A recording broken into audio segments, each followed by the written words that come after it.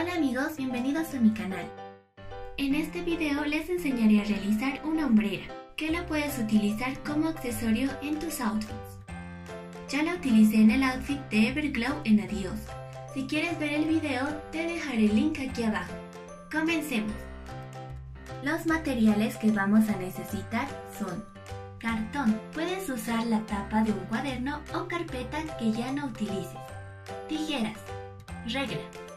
Una madeja o rollo de cola de rata, la más delgada que encuentres y del color que tú prefieras. El molde. Te dejaré tres modelos de hombreras en la cajita de descripción para que los descargues. Imprime y recorta el que más te guste. Para decorar, greca.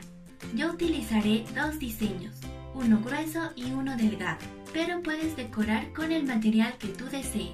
Pistola de silicona y dos barritas. Un pedazo de tela del color que tú quieras. Comenzamos. En el cartón coloca el molde de la hombrera que más te guste. Copia y recorta.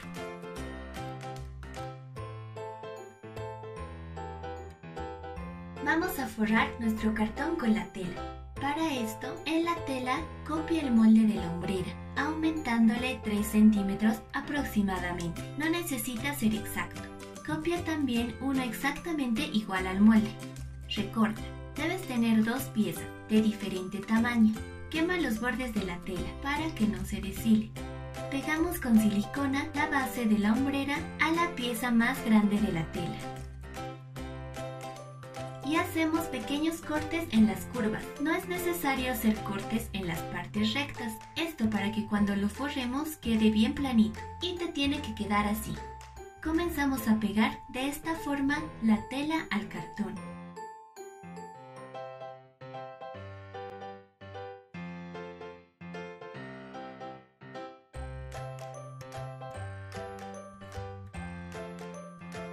Continuamos pegando la pieza más pequeña al cartón, para que así lo tengamos todo forrado y así obtenemos nuestra base. Recorta la cola de rata en tiritas de 15 centímetros aproximadamente y quema las puntas para que no se deshile. Lo acomodé de esta forma para que veas cómo debes pegar las tiritas. Colocamos una por una en todo el borde.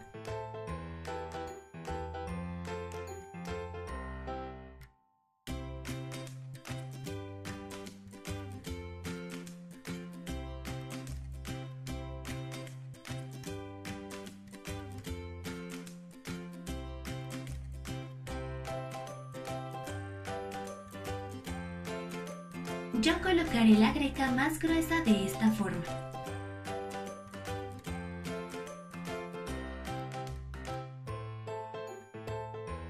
Y la greca más delgada la colocaré alrededor. Puedes hacerlo diferente, esta es solo una idea.